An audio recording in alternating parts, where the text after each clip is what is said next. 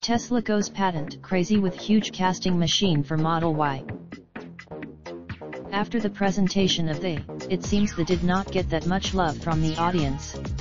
But it surely got it, again, Tesla is tired of manufacturing processes that make companies lose a lot of time and money.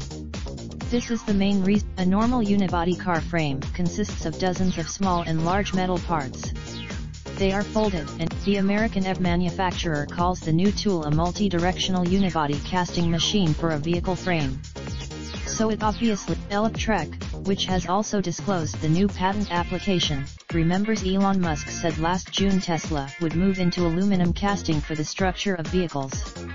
Musk even said, the big casting machine may be a hell of an investment, but it can save a lot in terms of fewer robots of people involved in welding or gluing the metal together. Aluminum would pop well let you for the juicy details and also to try to answer the following question Will such a solution make repairing these cars more expensive? A. It may be troublesome to put 70 pieces together, but it is also more practical to extract a few damaged parts and welding new ones than replacing a whole structure. This is something we are curious to see on the future Tesla models. And probably as a source via.